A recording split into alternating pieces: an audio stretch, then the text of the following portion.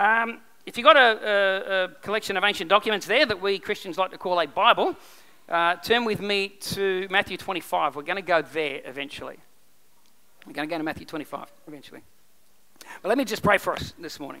So, Father, again, Lord, we just thank you for this chance to gather. God, thank you for your word, this collection of ancient documents, Lord, that you have, God, by your sovereignty, preserved for thousands of years. God, when nations and people have tried to destroy it, God, you've made sure that in 2024, that, uh, Father, we have an opportunity to obtain it. God, we have an opportunity to read these words for ourselves in our own language. Father, I thank you that you speak to each of us in our own language. And I pray this morning, God, would you speak to each person in this room, God? Father, whatever it is that your Holy Spirit wants to highlight, what you want to say through uh, your word this morning, God, I pray that you would speak to each of us this morning in a language that we understand. And that, Father, when we leave this place today, that, uh, God, we would understand better, God, how is it that you call us to live in this world and this culture that we live in, Lord, a culture that's going left, right, up, and down, and all over the place, Father. So thank you for your word. Open our ears to hear and our eyes to see. In Jesus' name. Amen. Amen.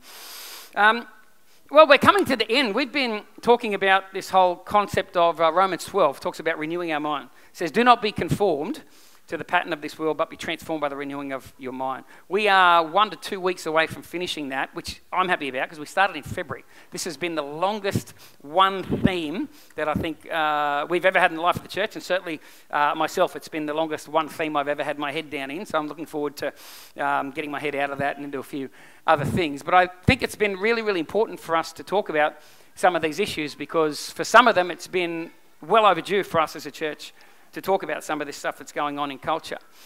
And it's also good for us to be aware because sometimes we, we, we're marinating in culture and ideologies and worldviews and thoughts and so on. And if you marinate in something long enough, you just get used to it. You ever hop into a, a, really, really hot bath, a warm bath? You jump in. When you first jump in, you're very sensitive to that water.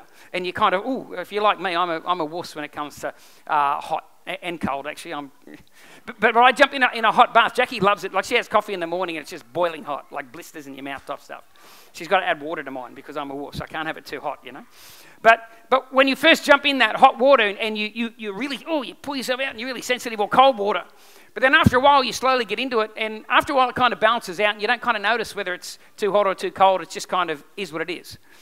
And that can happen with culture that could happen with us as believers is that once upon a time, maybe the church was a bit sensitive to the fact that, you know what, what the Word of God teaches us about life and God and people is maybe a little bit different to the, what the world is screaming at us and saying, hey, this is what normality is.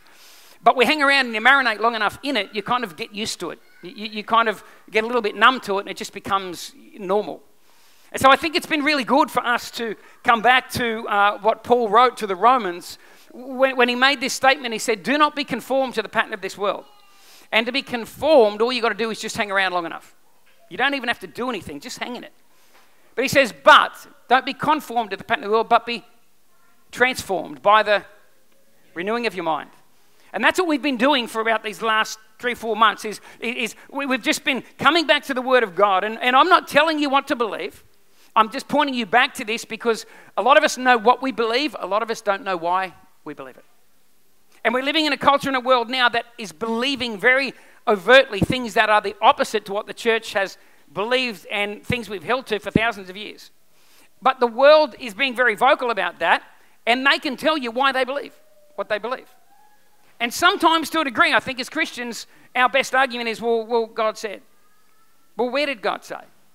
How, did God say? Where is it? What? Show me. And, and I think it's time that we get back to, if, if you get nothing else out of this series, here's what I want to say to you get back to your Bibles. Just get back to your Bible. Just start reading it again. You don't have to understand everything, but start marinating in this. Start letting the Word of God get back into you because God is the same yesterday, today, and forever. Culture has changed and the world's view of God has changed, but God hasn't changed. And if we marinate in culture, we will slowly get pulled further and further away from this. And then what we end up doing is we then have a worldview that says, hey, this is okay. And then we come back to the Bible, and instead of trying to find what the truth of God's word says, we come back to this looking for things that agree with that because we've made our mind up that, hey, we've been convinced this is right. So we'll go through this word and we'll find scriptures and things that will make us go, well, yeah, well, this justifies why that is okay. And this is how we've gotten ourselves, uh, this is how the world has gotten itself into some of the sticky places that it is, because love is love and all these sorts of things that is found in the Word of God. God is love, therefore, because God is love, then this is allowed and that's allowed, and we can do this. And, and, and we've just drifted away, and we've just got to get back to the Word of God. Amen? So, if nothing else, that's what I hope happens for us, that we just get back into the Bible, get back into this collection of ancient documents, and let's see what God has to say. So, we're getting towards the kind of end of that, and we've touched some touchy subjects. We've talked about a definition of marriage. We've talked about same sex attraction and same sex sexual relationships. We've talked about uh, gender and identity. And today, what I want to do is talk about the issue of equality. Um, now, again, I'm going to preface by saying I'm not a social scientist, I'm not a sociologist. I am just a pastor of a church who has dug into the Word of God and tried to uh, find a few things in here that will help us when we think about this issue of equality. Because equality seems to be a really, really big thing in society at the moment. In Colossians chapter 2 and verse 8, Paul writes this to a group of believers in Colossae. He says this He says, See to it that no one takes you captive through hollow and deceptive philosophy, which depends on human tradition. Uh, when he talks about human tradition, what most commentators agree, or some at least say, that this means that uh, don't get caught up in the pagan theories that are current in the day. So there were theories and ideas about life in uh, the city of Colossae, that these people were, were born again in this city from other religions and ideas and came across and started following Jesus. But he said, You're still in that city, you're still in that culture. It's easy for the ideologies and thought processes of that culture to still get inside of you, even though you are now in Christ, even though you're now a believer. And so he's warning them. He's saying, he's saying, See to it that nobody takes you captive through hollow and deceptive philosophy, which depends on human tradition, and it also depends on the elemental spiritual forces of this world rather than on Christ. The elemental spiritual forces. Now, we've been talking about this all through as well. That there is a, and if you're not a, believer in Jesus, I, uh, that, that's fine, but I'm just saying what us as Christians believe. We believe that there is not just this world that we can see, taste, touch, feel, and smell. We also believe there is a, another dimension, a spiritual dimension to life. I mean, we believe in God. And God is not here right now. I'm not looking at him in, the, in, in, in his face, but God is present, I believe, through his spirit. There's also this being called the devil, Satan, the enemy, call him whatever you want. Bottom line is that God loves us and wants to give us a great future, and the devil wants to destroy us because we are made in the very image of God. You ever think about that? Every time the devil looks at you, he, he sees a reflection of God, he sees a bit of God. And he rebelled against God, and he's rebelling against society and the world, and he wants to take us down a path. And we believe that as Christians. And this is what Paul's saying also to the Colossians. There are elemental spiritual forces uh, in this world that are behind the scenes pulling you down a certain path, getting you to, to think a certain way and act a certain way and so on, and, until it just becomes normal. But as Christians, our normal is different to the world's normal. And this is what we've been encouraging each other to do throughout this series renewing our mind with the Word of God, not simply marinating in the ways of the world and the way that current culture sees things.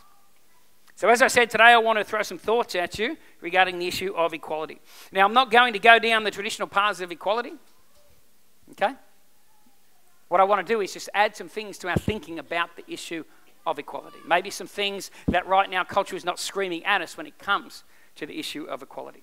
So I want you to hear my heart, and I want you to, to hear that I am not trying to uh, cover every base when it comes to this issue. I'm just trying to throw some things out I see in the Word of God that I don't think we take into consideration when we think about the issue, issues of equality in the world.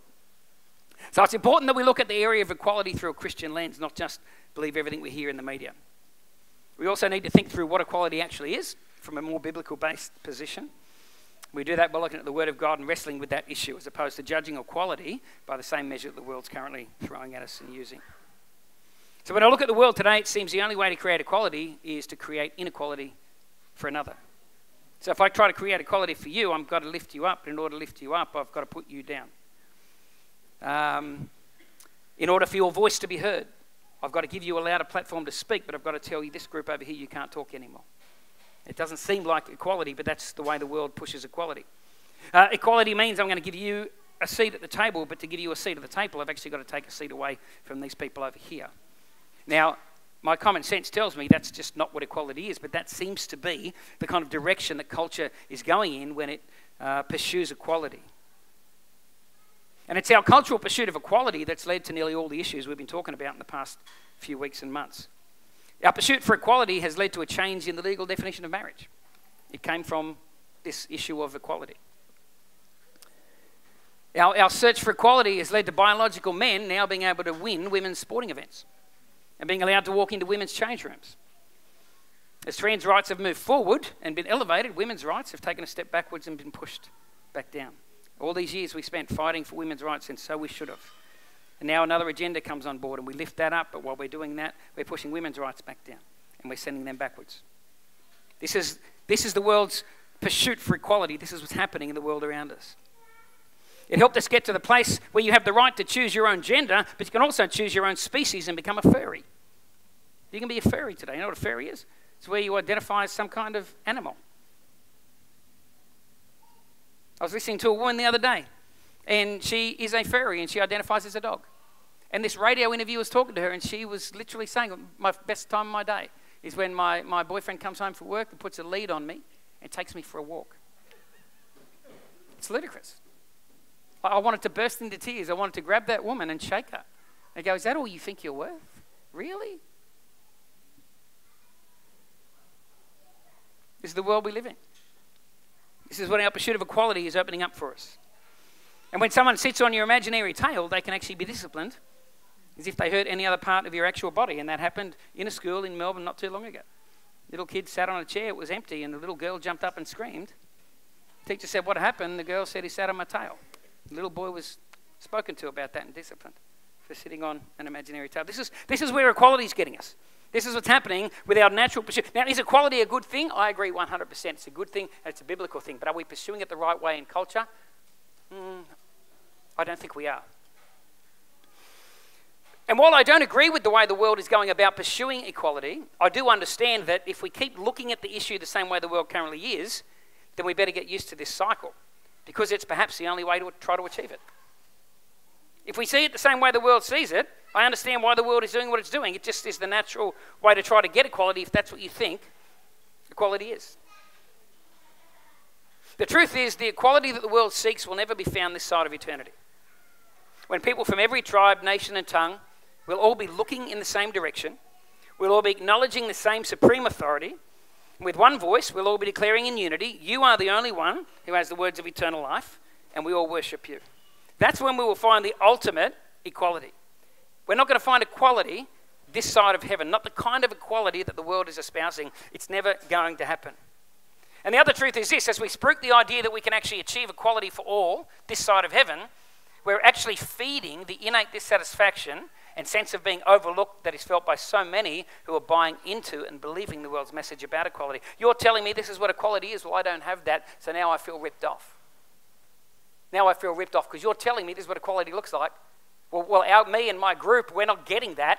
So now we feel ripped off. Now we feel less than. Now we feel isolated. Now we feel because you're telling me this is what it is. Well, that's not my experience, so there's something wrong with the way I'm being treated. And it feeds this vicious cycle in humanity where we're never going to be satisfied and we're never going to be happy. So today I want to throw a few ideas out that hopefully will help us think about the issue of equality in a more balanced light. So I want to use a very familiar story to everybody, Matthew 25, the parable of the talents, as a reference point. So I'm just going to read it through. Then I just want to throw some thoughts at you. Like I said, I'm not trying to cover all bases here. I just want to add some other thoughts to the issue of equality so that when we're thinking about equality, when we're making decisions about equality, when we're, we're picking and choosing, when we're going through the process of what equality means, when we're having discussions and conversations with people, maybe we can bring something to the table that might create something that I think is a little bit more like the kind of equality that God would like. Knowing that we will never reach perfect equality this side of heaven. It won't happen. It won't happen. Inequality is not the world's biggest problem, sin is the world's biggest problem. Matthew 25, 14 to 30. Again, it'll be like a man going on a journey who called his servants and he trusted his wealth to them. To one he gave five bags of gold, to another two bags, and to another one bag, each according to his ability. Everyone say that, according to his ability. According to his ability. He gave them stuff according to his ability. Then he went on his journey. And the man who would receive five bags of gold went at once and put his money to work, and he gained five bags more. So also the one with the two bags of gold gained two more. But the man who had received one bag went off, dug a hole in the ground, hid his master's money. After a long time, the master of those servants returned and settled accounts with them. And the man who had received five bags of gold brought the other five. Master, he said, You entrusted me with five, and I've gained five more. Master said, Well done, good and faithful servant. You've been faithful in a few things. I'm going to put you in charge of many things. Come and share your master's happiness. The man with two bags of gold came. He said, Master, you gave me two. Uh, I've gained another two. Verse 23 His master replied, Well done, good and faithful servant. You've been faithful with a few things. I'll put you in charge of many things. Come and share your master's happiness. Then the man who had received the one bag of gold came. Master, he said, I knew that you're a hard man, harvesting where you have not sown and gathering where you have not scattered seed. So I was afraid. I went out and I hid your gold in the ground. See, here is what belongs to you. His master replied, You wicked, lazy servant. I'm guessing that was not what he was hoping for. So you knew that I harvest where I have not sown and gather where I have not scattered seed. Well, then you should have put my money on deposit with the bankers so that when I returned, I would have received it back with interest. So take the bag of gold from him and give it to the one who has ten. For whoever has will be given more, and they'll have an abundance. And whoever does not have, even what they have will be taken from them. Throw that worthless servant outside into darkness where there'll be weeping and gnashing of teeth. So, society's road to equality is actually a road to inequality. And especially for those of us in this room that follow Jesus. And we know that. We need to know that according to God, we are all equal in value. Who would agree with that? When it comes to equality, the most foundational thing we can say is this I don't care whether you are black, white, red, yellow, rich, poor. I don't care whether you live uh, in a palace or whether you live in a shanty shack in India or a piece of tin beside a wall. I don't care whether you are the most talented of human beings that can, can, can you know, stand in front of 10 billion people or whether you're a quiet, more reserved, shy person. I don't care whether you've got great sporting prowess or whether you, you, you come last in an international marbles tournament. I don't care. You are made in the image of God, and every human being on this planet has innate value because we are made in the image of God. Amen? Our value comes primarily from the fingerprints that are on us. We have the very fingerprints of God upon us. We are made in His image, and the one whose image we reflect back is what gives us our ultimate value, regardless of everything else. So we need to know that. According to God, we are all equal in value. However, however, number one, we're all equal in value, but we do not all have equal abilities. We need to accept that. We're all equal in value, but how many of you know we do not all have equal abilities? Now, I couldn't stand. I know I told you last week that I did. I stood in front of Latrell Mitchell and he ran at me and I palmed him off. But that was a dream. I did clarify and say that was a dream, right? But I reckon I couldn't stand in front of Latrell Mitchell and I couldn't tackle him, right? He would run me over like a steam train, knock me out, and I would wake up in 2029. But Smith, where's Smith? Smith's not here today. How many of you reckon Smith could stand in front of Latrell Mitchell? I'd, I'd, back Smith standing in front of Latrell Mitchell. No worries, I'd back them to go toe to toe. So Smith could stand in front of Latrell Mitchell because he's got an ability that I don't have. He's got a body that I don't have, a skill set playing that game that I don't have. So there are things that Smith could do that I could not do. And if I did do that, then I wouldn't need Christ who strengthens me. I would need Christ to raise me from the dead. You know, we can't all sing like Dave or Steve. We can't all sing like these guys. We can't all sing like Lorian. We can't all sing like these people. We can't all build homes like Mick Carcass. You know, when people come, whenever we have meetings here, to this day, the number one thing people comment about our building, when they come in this building, they look at that's an amazing building. You know what the number one thing they comment on is the stairs. They comment on the stairs still. They still talk about the stairs. Well, Mick, Mick, we were just, I just said when we put this here, let's just go plop, plop, plop, make stairs. Mick said, no, no, no, we can do this, and made these beautiful staircase that's put Arise Church building on the map. Every pastor comes in, oh, I love those stairs. Well, you know, I just drew a plan once and gave it to Mick. No, I didn't. But we can't all do that because we're not all like Mick. I can't give birth like my wife has. It's not going to happen. I don't care what anybody says. I can't do that we are all made differently. My wife has abilities and, and things that she can do and, and stuff that, that I can't do, and I have things that she can do and, and I can do and you can't do, and so on. All of us have different abilities in this life. We have different personalities, we have different giftings, different strengths and weaknesses. There are different things that bring us down and different things that pump us up. And more practically, there are different things that we're motivated to want to achieve and excel in, and other things we're just simply not motivated to want to achieve and excel in in this life. Philippians 4:13 says, "I can do what? All things through Christ who gives me strength." It doesn't mean I can do all things through Christ who gives me strength. I'm not going to tackle the Latrell Mitchell. I'm not going to build stairs like Mick does. I'm not going to have a voice like these guys. I can't do all things. If we go back and look at the context of that, Paul's talking about this. He says, You know, I, I learned how to live with everything I wanted, and I had all, and then I've learned how to live with nothing materially or nothing that I wanted, the freedoms and liberties. And he says, I've come to this conclusion. I can live that way or this way through Christ who gives me strength. So Christ is not Christ doesn't give me strength so that I can do all things and anything regardless of my ability. That's not what he's saying. What he's saying is I can I can survive and prosper, uh, uh, uh prosper and thrive in any environment because Christ gives me strength to do that. That's what that verse means. We can't just do anything we want. Our, our quest for equality is trying to alleviate this truth by making sure everyone's circumstances are good, by trying to legislate out of society anything that makes anyone feel not good. And that's impossible because we're also very, very different. We're also very, very different. So, yes, all men were created equal in value, but we've not been created equal in ability. We've not been created equal in ability. Generally speaking, it's actually true. Most white men still can't jump. We can't. I've tried. Number two, moving on. We are all equal in value, but we do not all begin on equal footing. How many of you know that? We're all equal in value, but we didn't all begin this life on equal footing.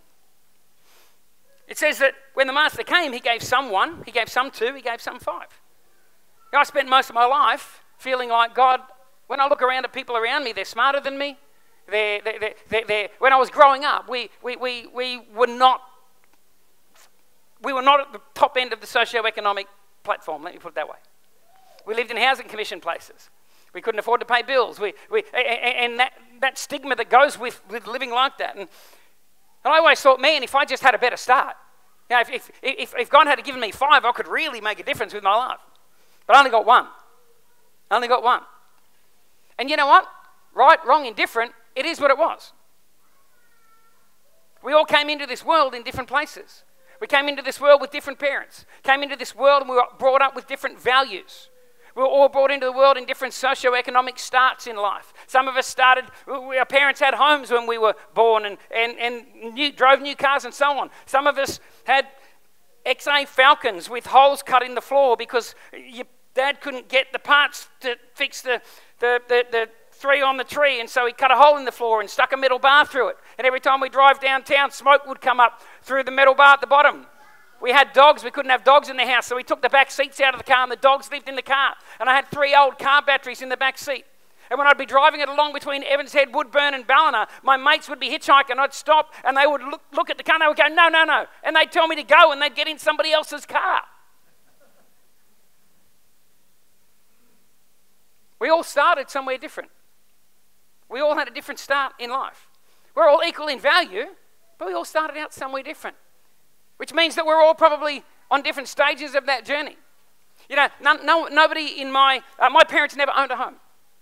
My parents never owned a home. Me and my wife at 48, 48, we finally got the opportunity to buy a home. So now that we've got a home, we're hoping one day to get into a position where maybe we can help our kids get into a home. And then hopefully by the time they have kids, that then they're in a better position and, like, and, and hopefully we can see something go on through the generations with our family. But we all started at a different place. We all started at a different place. Which means six months down the track, if I start from here and I'm walking that way, but you've started over, you know, two kilometres in front of me and you walk, and we're walking at the same pace for the same amount of time, we may end up at different places. It's not inequality. Unless you're looking at equality from a different perspective. We're going to see things differently. We're going to feel things differently because we didn't begin on equal footing in life. A third thing to think about we're all equal in value, but we do not all get equal outcomes in life. We don't all get equal outcomes. True equality is not about equal outcomes. It's primarily about equal opportunities.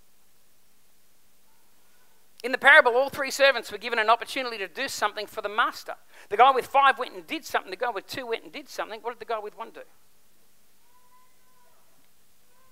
He did nothing. Oh, poor guy.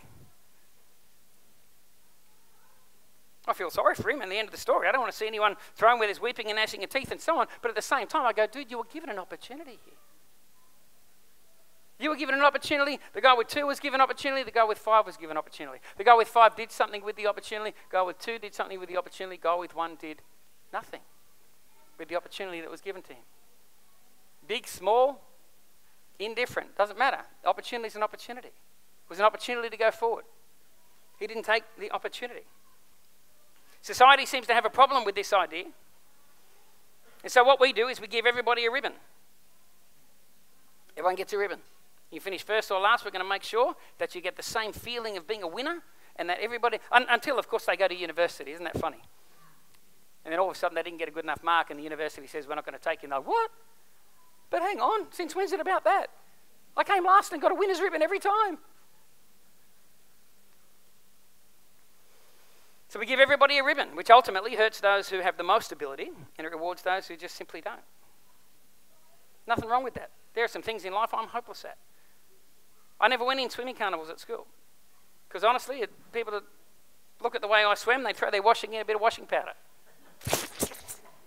Thrashing about like a washing machine. I was hopeless, hopeless at it, you know?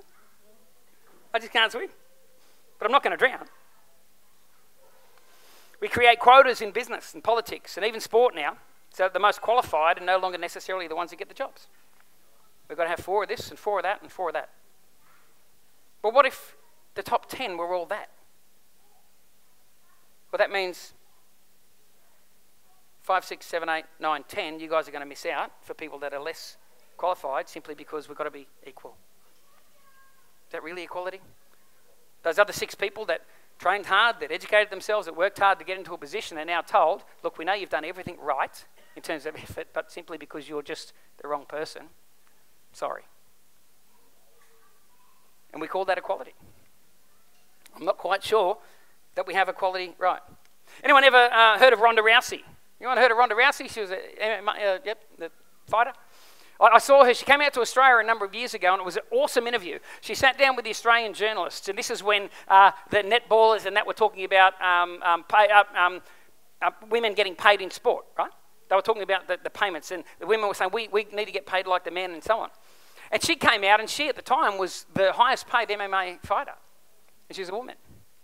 And, they, and the Australian journalists, they, got, they sat down, they said, man, you must be really, uh, uh, you must really think this country's backwards because you know what our female athletes get paid, blah, blah, blah.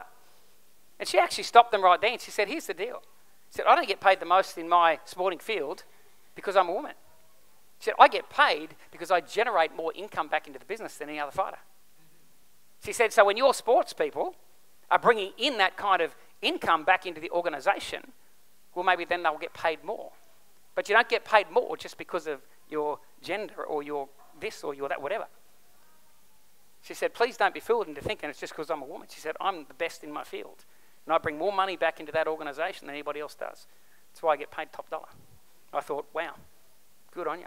It's true. It's not being disrespectful or rude. Number four, moving on really quickly. We're all equal in value, but we do not all get the exact same opportunities. The master gave one one, he gave one two, he gave one five.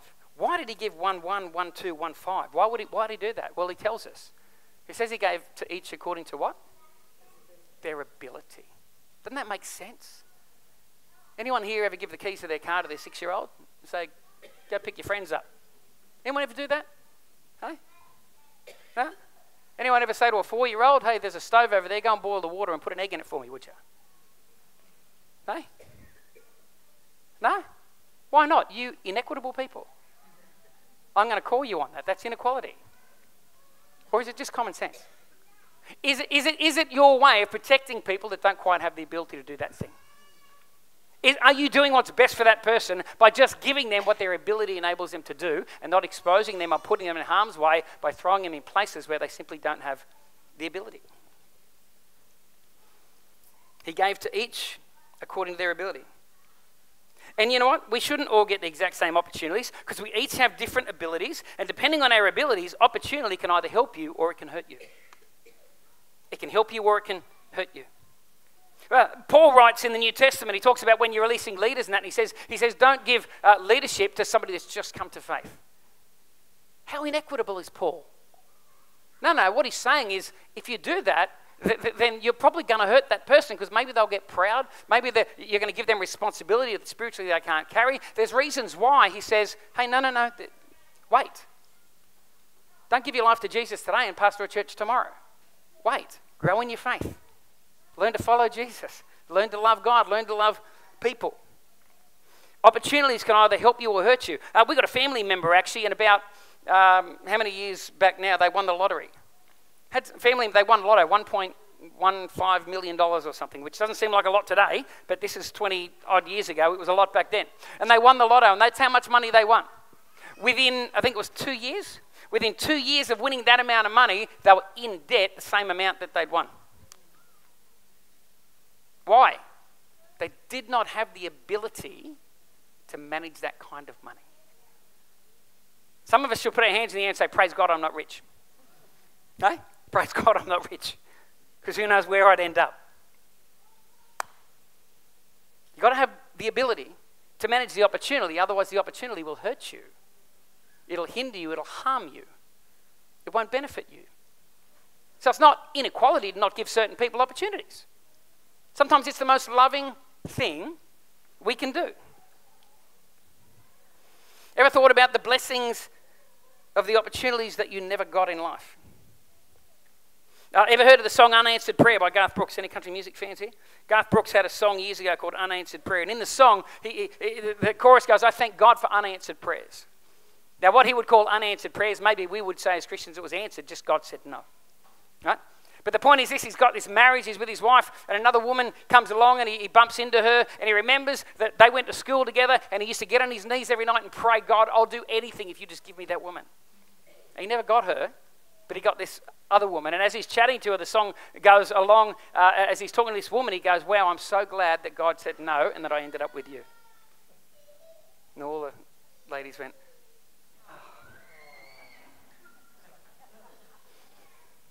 I had this girl, same thing when I first became a Christian. And, well, I hadn't really become a Christian. She went to a youth group and she was really attractive. And so I thought, God, I'll follow you if you give me her. It lasted a week.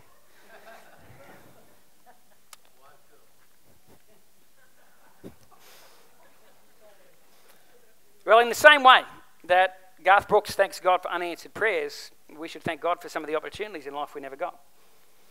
I'm glad I never got the opportunity to join a rock band when I wanted to just before I came to faith. If I had joined a rock band, who knows where I would be in life right now? What would I have gotten caught up in? Would I have responded to Jesus? I don't, I don't know. So I'm glad that I didn't get that opportunity. I'm glad that I didn't get a chance to play rugby league for the Tigers. I wanted to. It was one of my goals when I was younger was to play league for the Tigers. I'm especially glad now that in hindsight, knowing. And you should all be grateful that I never got the opportunity to run this country.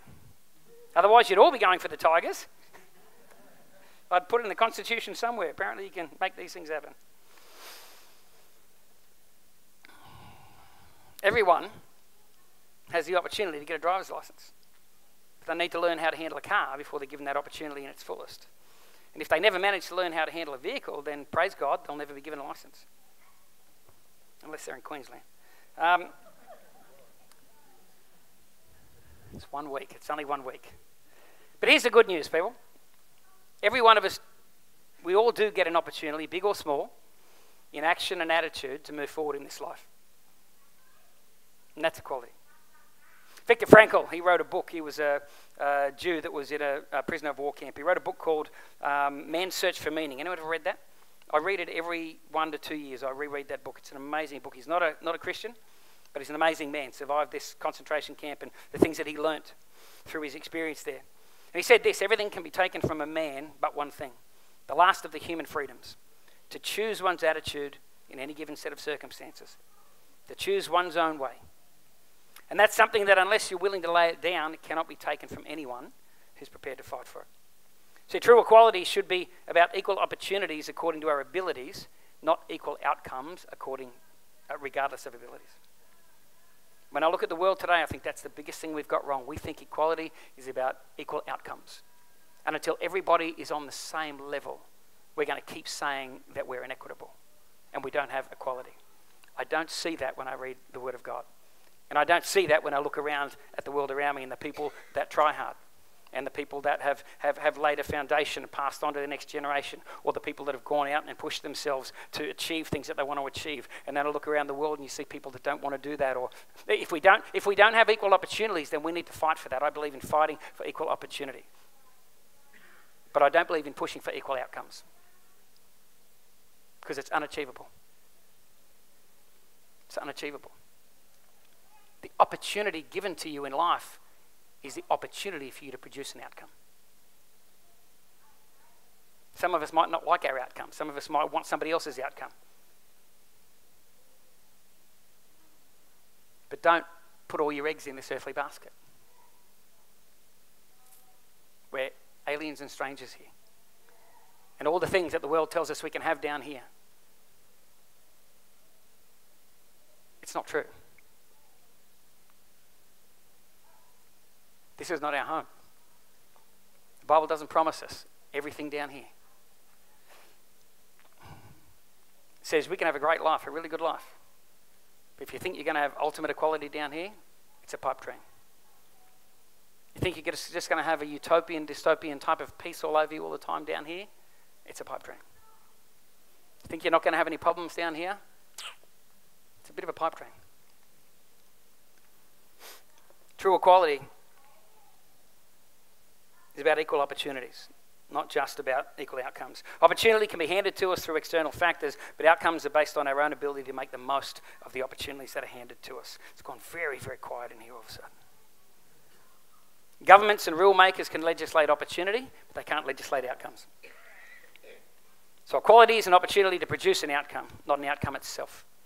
This means that you can have equality in a society that has different outcomes. Part of our problem in this country is we're looking at different outcomes and we're screaming that we, we have such inequality and so on. I'm not, I'm not saying that we've got equality right, I'm not saying that. What I'm saying is I don't think we're as bad as what the media is trying to make us out to be. I've lived in India. You think that we don't have opportunity here? Go and live in India. Go to Afghanistan. And go and tell a woman in Afghanistan how hard it is over here that we don't have proper, we don't have equality, we don't have opportunity. Opportunity is relative. We have an incredible country and incredible opportunities here. I'm not saying we're completely equitable. Don't anyone walk away and say, I think we've nailed it. We haven't. But I don't think we're going to nail it this side of heaven either. But I am getting sick of hearing how hard it is for us here. We've got, we're not called the lucky country for no reason. Lucky for everybody? I'm not speaking on behalf of everybody, I'm just speaking generally. It is possible to have different outcomes and still have equity in a society and a home. As believers, we should be standing for equal opportunity, but not necessarily equal outcomes.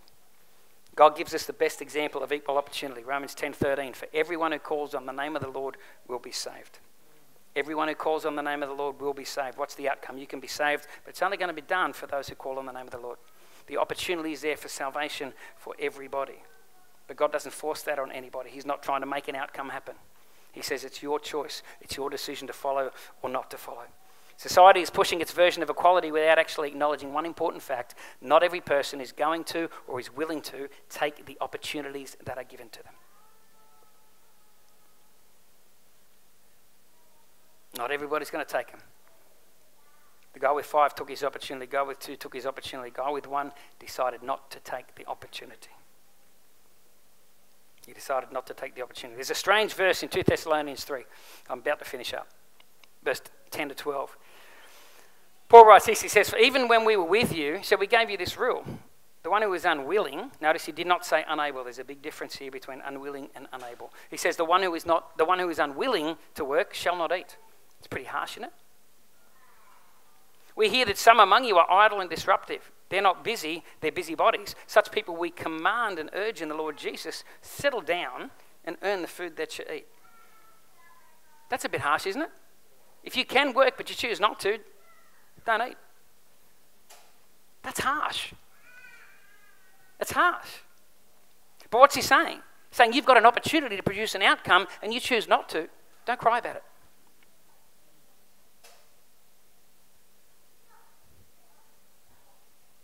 Just like the parable of the talents, we play a role in the outcomes we get in life. Take the opportunities that we have. In closing, we're equal in value, but not in ability. Equal in value, but we're not all afforded the same opportunities. We're equal in value, but we don't all achieve the same outcomes. So we live in a time and a generation where we actually believe we can solve the world's issues if we were just more fair. However, we cannot solve the world's problems by legislating out of culture everything that hurts, offends, or disrupts the world of another person. All we're doing if we do that is we're removing resilience, the very thing that we all need if we're going to make significant progress in this world. Life wasn't fair for Moses, it wasn't fair for Noah, it wasn't fair for Abraham or Joseph, for Jesus. It wasn't fair for Peter or Paul or the believers in Acts who had to flee their homes because of persecution. It's not fair today for believers in Afghanistan, Iran, China, India. Life this side of heaven just isn't equitable and fair. We do what we can but we'll never completely achieve it because the root of the world's problem is sin, it's not equality. And the answer to the world's problem is Jesus, not equality. Stand for equality, fight for equality, but do it knowing that ultimately equality will not answer the deepest questions in the heart of man. Where did I come from? Why am I here? And where am I going? That's why certain groups in society today, they've never had more freedoms, more recognition, and never had more validation than they do now, but it's still not enough because it never will be. At the heart of man, we need Jesus. Amen. Let me pray for us.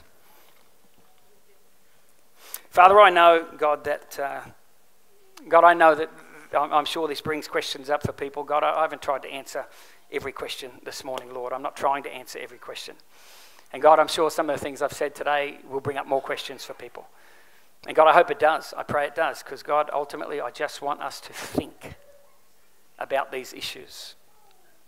I want us to think a little more in line with the world that you created, God, a little more in line with biblical values, a little more in line with the stuff that your word teaches us, and not just slowly get dragged away with the narrative of, of society and culture today, Lord. That would, God will never be satisfied. This world will never be satisfied. It doesn't matter what we give people. It doesn't matter what laws are passed, what rules change, there's always going to be something in the heart of man that screams out, I want more, I need more. Because ultimately, Father, we need you. We need Jesus. We need to find our value in you. We need to find our purpose in you. And God, I thank you, Father, time and again in your word, you remind us that we are aliens and strangers. We are sojourners. We are exiles. God, we are just passing through this world. And Father, I pray, I pray, Lord, that God, we would keep that perspective. We would keep that perspective, God. We wouldn't look for ultimate happiness, fulfillment, satisfaction in things down here where moth and rust destroy. But God, we'd find it in you. God, we find it knowing that one day we're going to shed this skin, this body of ours, but Lord, when that happens, it's not the end. That's going to be the beginning of something so amazing and so wonderful. That all the sorrow and disappointment and pain, all the stuff that we go through here in life, all the things that don't go our way, will seem like nothing compared to the joy that's awaiting us. So, Father, we thank you, Lord. And God, I pray you'd bless this uh, food, Lord, this afternoon as we have a barbecue together. God, bless the food to our bellies. And bless the hands that put that together for us too, Father. We pray this in Jesus' name. Everybody said, Amen. Amen. Amen. Awfully quiet. Wow, of all, every week it's just the quietest. That's okay. That's okay. Like, it's all right. Like I said every week, if you have questions or things you're not understanding, do what you've been doing. Come and talk to me personally and let me explain. If there's things you didn't understand or whatever, come and see me. Let's have a chat and a conversation. Uh, more than happy to, to talk to you and so on, all right? Bless you guys.